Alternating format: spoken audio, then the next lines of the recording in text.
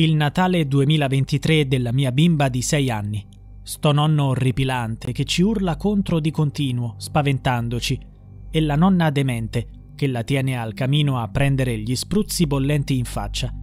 Non parliamo di come trattano e hanno trattato a febbraio 2018 la mia barboncina.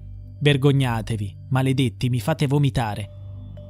È l'8 gennaio e Giulia Lavatura condivide questo messaggio delirante su Facebook. Rivolge la sua frustrazione a tutti, al marito assente, ai genitori, ai mostri che secondo lei popolano ogni angolo. Ma questo non è solo uno sfogo. Questo è l'ultimo messaggio prima di una tragedia immane. Sfruttando l'assenza del marito, fuori casa per lavoro, Giulia ha afferrato la figlia Wendy, appena sei anni. È salita su un'impalcatura del loro palazzo a Ravenna e si è gettata nel vuoto dal nono piano, portando con sé anche la sua barboncina. Purtroppo, per la piccola e per il cane, il volo è stato fatale. Giulia, invece, è miracolosamente sopravvissuta. La tettoia del cantiere sulla facciata dell'edificio ha ammortizzato la caduta. È stata sottoposta a un intervento chirurgico alla vertebra e attualmente è ricoverata all'ospedale di Cesena con una prognosi di 40 giorni.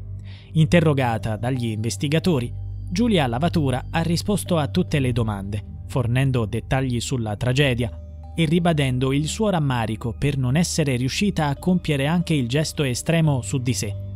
Ha ammesso apertamente di aver pianificato attentamente l'intero evento, spiegando in dettaglio.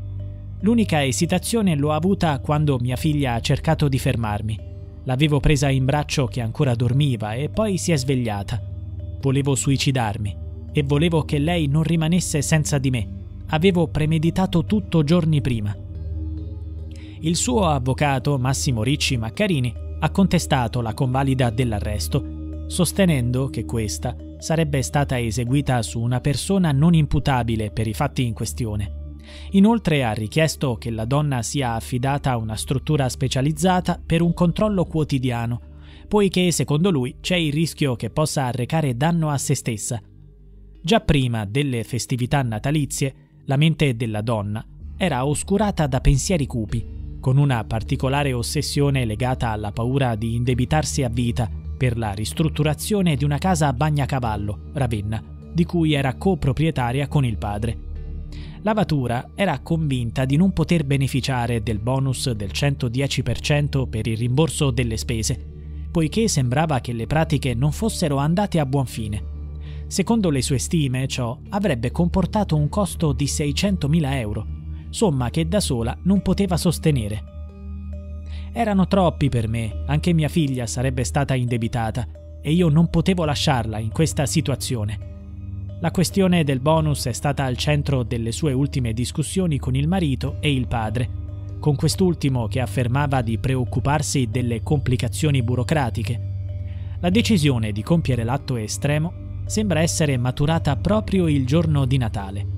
Durante questo tragico momento, mentre stava scrivendo il lungo messaggio su Facebook, nel quale ha spiegato le ragioni della sua scelta, temeva che scegliendo di arrampicarsi sul ponteggio potesse imbattersi in qualche muratore già al lavoro. La sua preoccupazione era che se qualcuno l'avesse notata tentare il suicidio con la figlia in braccio, il suo piano sarebbe sicuramente fallito. Mi avrebbero mandata al centro di salute mentale, ha raccontato. Di conseguenza ha deciso di svegliarsi all'alba per anticipare l'arrivo degli operai. Alle 6.50 è andata a prendere la figlia nella sua cameretta mentre dormiva ancora. Quando Wendy si è svegliata, secondo quanto raccontato dalla stessa madre, la bambina le avrebbe chiesto spiegazioni, ma Giulia Lavatura era ormai determinata.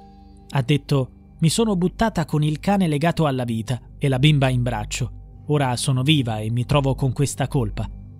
Secondo quanto emerso dalle indagini, la donna avrebbe dovuto assumere farmaci prescritti dal centro di salute mentale che l'aveva in cura.